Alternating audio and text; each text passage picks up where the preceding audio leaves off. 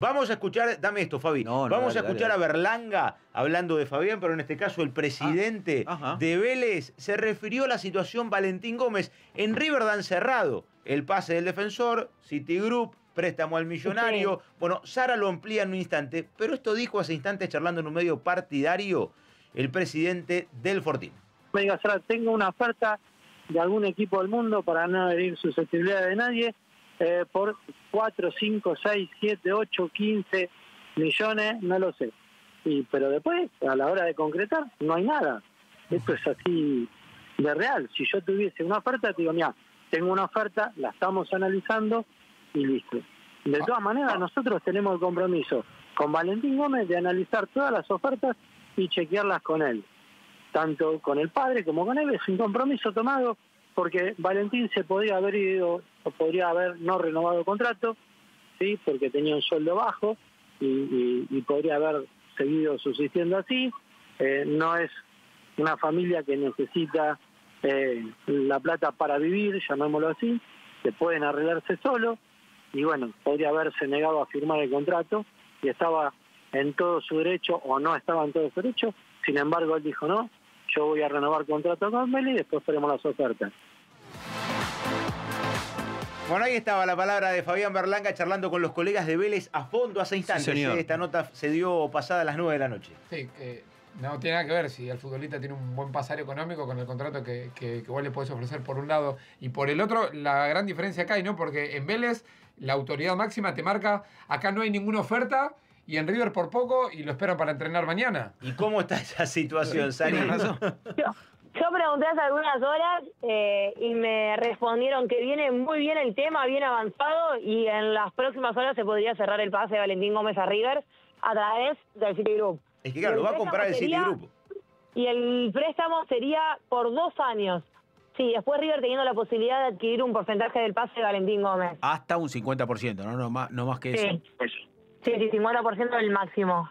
Eh, Sari, eh, podés no saberlo tranquilamente, ya te, te advierto, si no, obviamente que no pasa O sea, nada, pero me digo... eh, estás por tirar un ladrillo. No, no, no, digo, si, si, si No es casual, si es casual o, o- o empieza a haber de manera ya casi formalizada una relación entre Citigroup y River, digo, por lo de eh, Julián Álvarez, el Diablito Echeverri. buena onda. Sí, sí, hay buena, hay buena onda ya desde primero Julián Álvarez, después lo del Diablito. Echeverry teniendo la posibilidad del Diablito quedarse todo un año con River.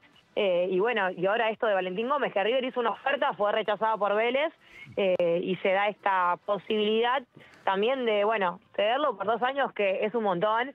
En su momento pensamos que iba a ser un año o 18 meses, pero hoy nos enteramos que va a ser la, la posibilidad de dos años en River gratis y después, bueno, si River termina comprando el pase. Qué buena la foto de Chatru con turbante, ¿eh? Encanta. ¿cómo, cómo es Chatru? Chatru con- sin anteojos con turbante. Eh, ¿no? Chatru. Pero estamos. Ah, ¿no? Contarle a los No. amigos de la radio, por favor. Claro, Estamos, claro, estamos viendo la placa, Claro. donde está, hay un jeque, Que está Brito. Habíamos logrado durante dos semanas y media, Fabián, que no que Nicolás. No dijera al aire. Bueno, Le queremos no. contar a los amigos de la radio que en la pantalla de TNT Sports, en este sí. momento estamos observando algo. yo creo que- está bien, a. Chatru, a Chatru con turbante. Pero, pero hay ¿Hay Chatru que, con turbante o no? Pará, en serio, porque para este Sí, con los sí, lentes sí, estoy sí, viendo hay- mal. ¿eh? hay algo, hay algo. Hay un que- Chatru que hay hay. que graficarle al amigo que va en el tren escuchándonos. Sí, digo, obvio, ¿qué obvio. Hasta ahora está difícil, pasando? pero bueno. Hemos hecho una muy buena, digamos, este, un buen collage. No hay más tren roca. un buen collage este, ¿no? en, en la pantalla para justamente ver esa. es el jeque Mansur bin Zayed bin Sultan al Nayan. Que se parece a el- Chatru. Cacho. Es el, claro. Algún apodo tiene que tener, el ¿no? En el barrio. capo de- Pepe.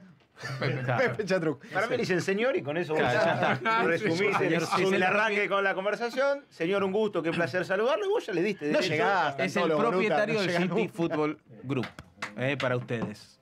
que no le debe costar mucho llegar a fin de O mes. sea, River, River, River, además de sacar una ventaja a varios clubes por un montón de circunstancias, además tiene relaciones con el Sí, claro, por eso. Bueno, le, le entregó un futbolista que le ha dado muy buenos dividendos. No, por. Álvarez. O sea, le vendió a un jugador. Sí. ¿Cuántas ventas hay al fútbol europeo? Muchísimas. Jugadores que realmente se adapten rápido y rindan pocos. Sí, Bueno, sí. el Citigroup encontró en Álvarez un futbolista recontra Barato, preparado. Sí, Nico, y para otra cosa. River va, va a preguntar qué va a pasar con Leolito Echeverry para ver si lo puede tener seis meses más para disputar el Mundial de Clubes el año que viene. Va a ser el intento. Porque también estaba la posibilidad de, de Leolito jugar a préstamo en algún otro club de Europa. Entonces River le dice que se quede acá, que disfrute el Mundial de Clubes y después sí, obviamente, llegar al Manchester City. Bueno, mañana lo ampliamos. Está bueno, sí. Creo que ahí River pica en desventaja porque la idea es que empiece a tener roce europeo. Sí. Eh. Echeverri a partir de El 2025, tema por es eso. Girona era una posibilidad en algún momento o algún otro club que pertenece no a corre. Citigroup.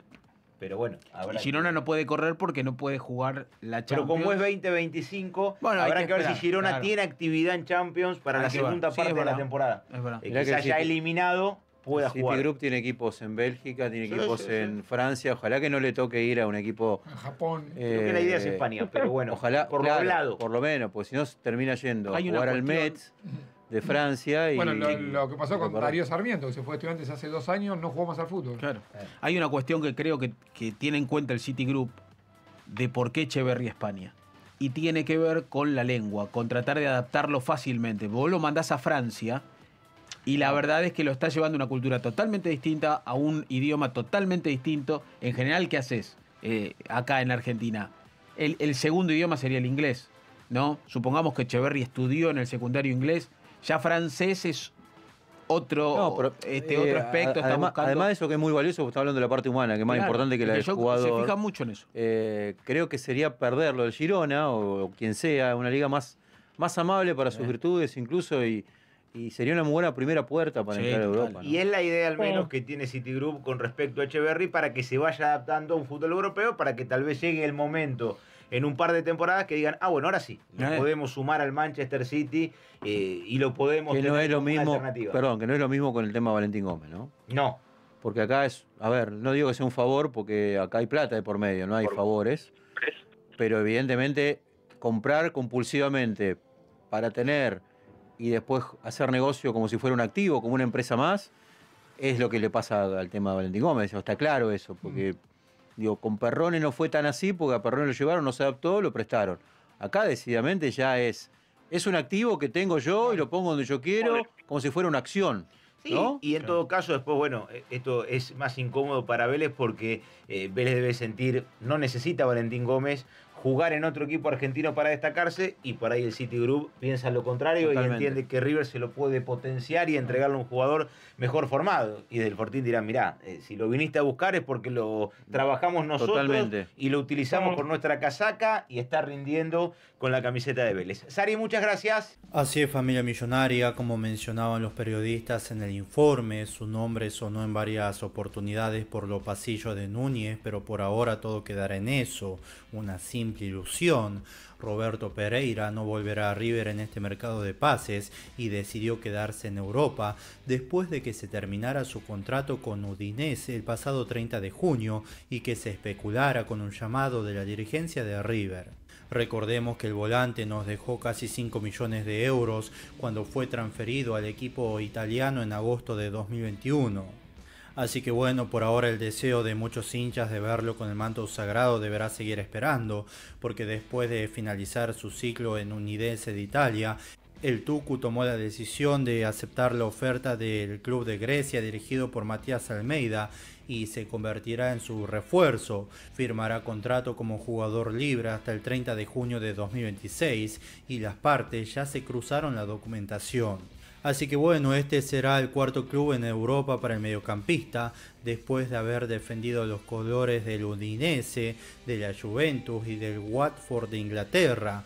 Con 33 años y un contrato por dos temporadas en su nuevo equipo, el hipotético regreso del Tucu a Núñez sería ya con 35 años, algo que sería bastante complicado. Estaremos siguiendo esta situación de cerca, así que no olviden suscribirse al canal.